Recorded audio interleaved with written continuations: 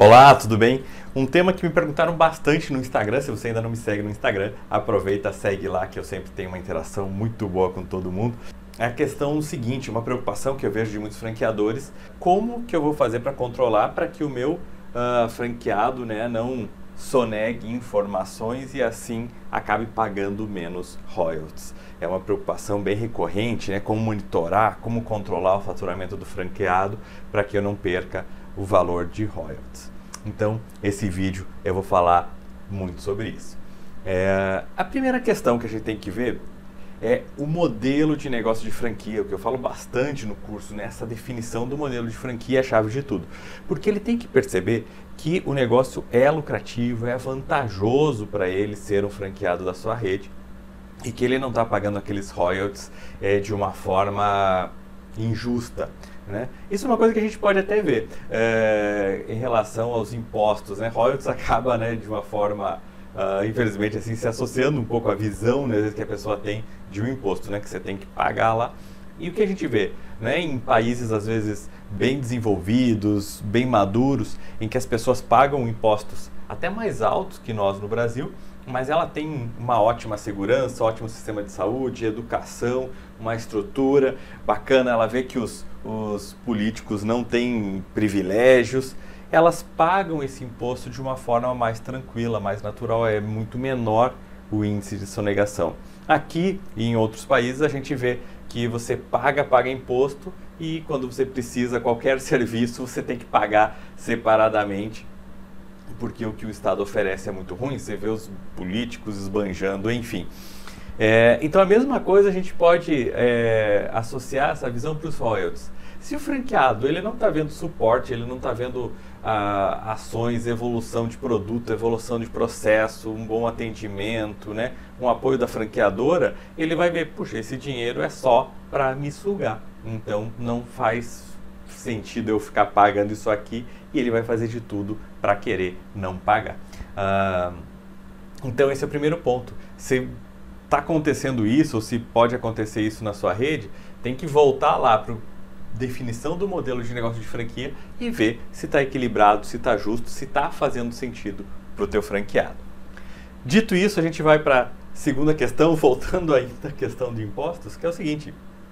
Eu já vi, às vezes, franqueadora uh, que fala, ah, não, mas ensina o franqueado a sonegar. Isso é um absurdo, é sem sentido, tá? Você fala assim, ah, não, de determinado momento aqui você desliga o, o, o sistema e você só faz venda por fora, tal, para você pagar menos impostos, né? E a alegação é que, não, é porque se pagar todos os impostos, o negócio não se sustenta, ele não é, é lucrativo suficiente, é interessante.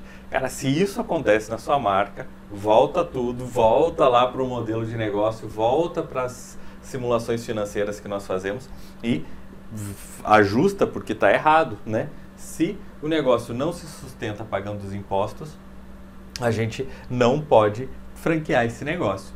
E isso automaticamente, né? Você imagina, se o franqueador mostra, né, ensina, incentiva a sonegação de impostos, você está falando a mesma coisa, só negue, engane, não pague o que você tem que pagar, dê um jeito de driblar. E é claro que ele vai aplicar né, é, essa mesma filosofia na hora de pagar os royalties e vai acabe, acabar né, fazendo de tudo para esconder o faturamento, não te pagar.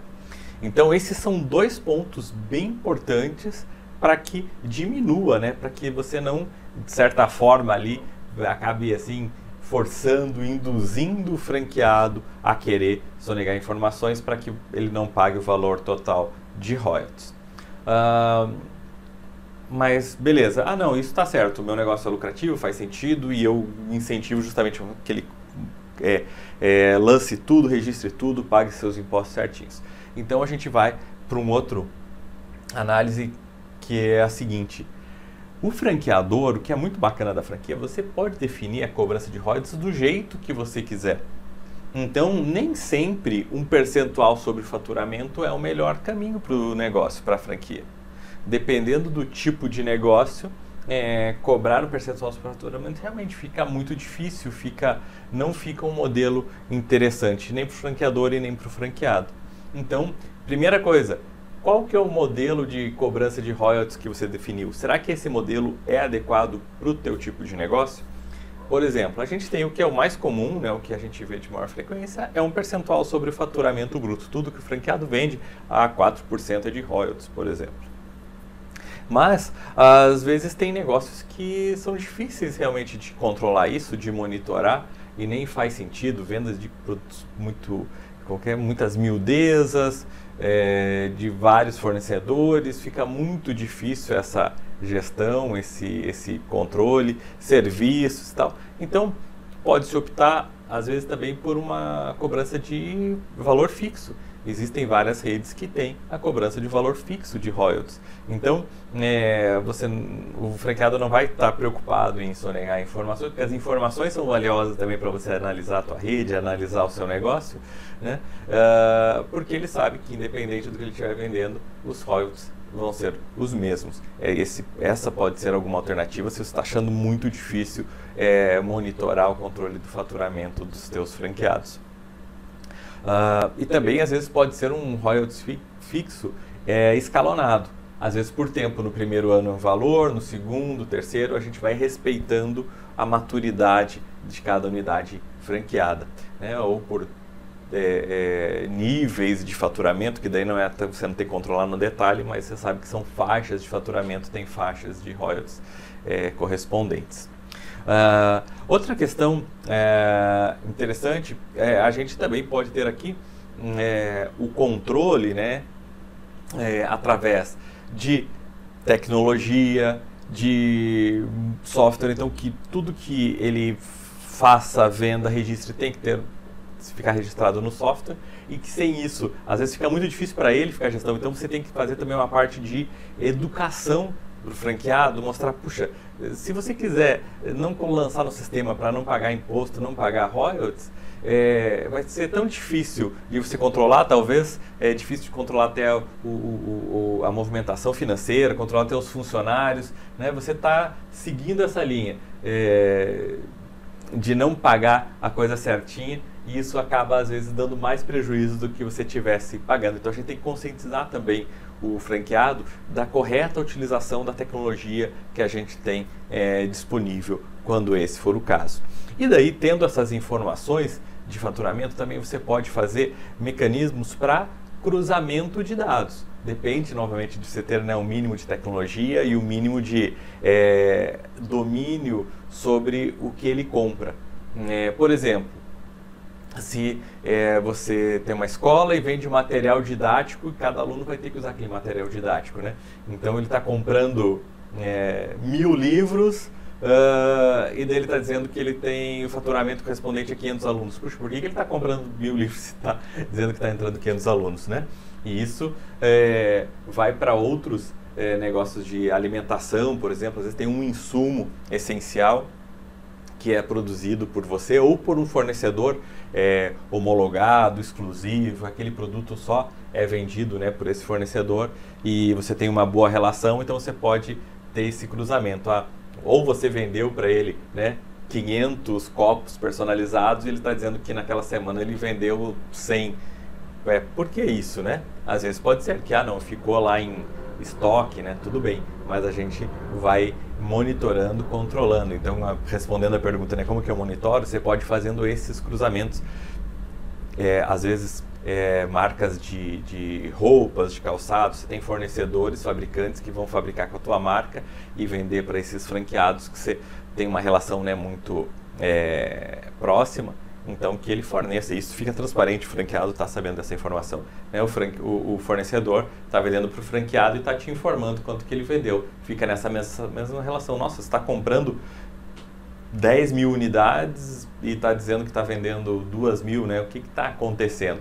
Então, quando a gente vai fazendo esse cruzamento, a gente consegue ver se está tendo algum desvio.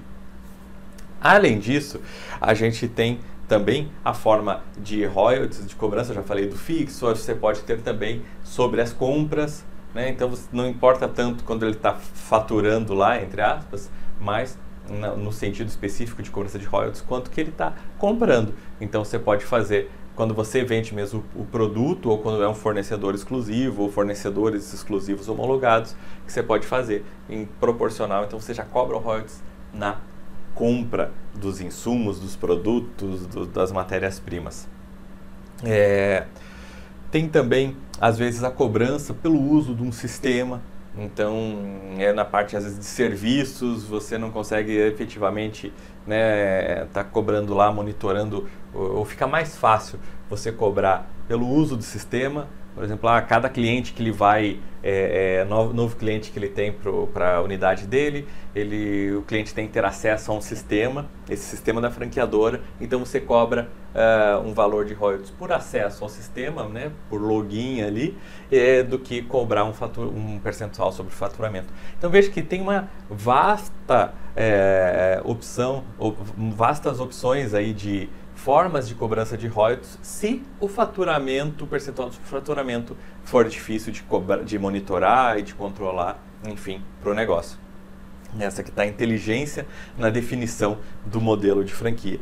E além disso, a gente também tem alguns mecanismos assim de criatividade, né, que eu vejo que são muito ricos para a gente fazer. É, por exemplo, uh, o, o, o, voltando né, alguma questão de, por exemplo, academia.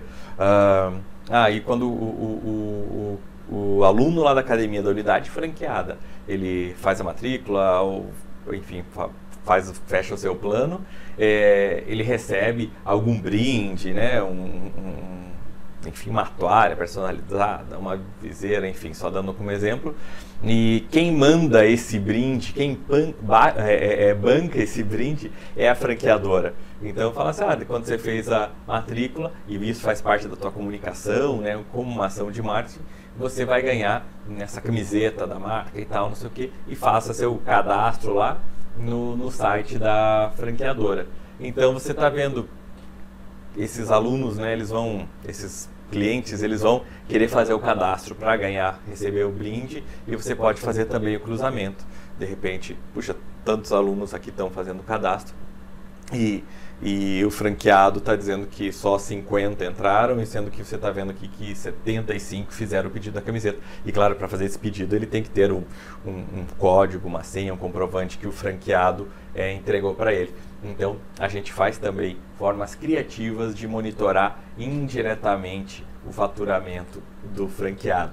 É, eu gosto de colocar, e isso acontece, faz parte, a gente, a franquia é uma relação de confiança, né? Então a gente tem que começa lá na seleção do franqueado, começa na definição de um modelo de negócio que seja vantajoso mesmo ele pagando os royalties é, de maneira integral.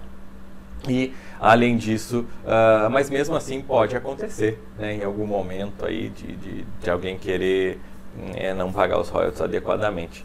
Eu gosto de colocar até um exemplo interessante da IG Piscinas, né? Uma vez estava conversando com eles e que eles viram assim numa loja de piscinas tendo alguém colocando uma piscina de outra marca, né? Imagina o tamanho, né, de, do, do, do, negócio ali, é, como isso, a, a, cara de pau, às vezes, da pessoa não tem limites. E eles fizeram que o, o fundo, né, das piscinas deles são todas vermelhas, então fica bem gritante que se você olhar numa loja, né, alguém está passando, uh, enfim, qualquer informação mínima ali, você não precisa fazer uma uma, uma, avaliação ali refinada, você olhou e viu uma piscina lá que não tem o fundo vermelho, já é, é, deu aquele é, sinal de alerta que alguma coisa está errada. Enfim, são estratégias e técnicas para você conseguir monitorar e garantir os royalties aí justos e adequados. E isso não é um motivo para que você não faça a formatação, justamente o contrário, daí sim você vai fazer uma boa formatação já prevendo essas situações para sua marca crescer. Beleza? Se tiver mais dúvidas, deixa aí nos comentários, me manda lá no Instagram, que eu sempre gosto muito de falar sobre franquia e responder as dúvidas que você possa ter. Valeu, até a próxima!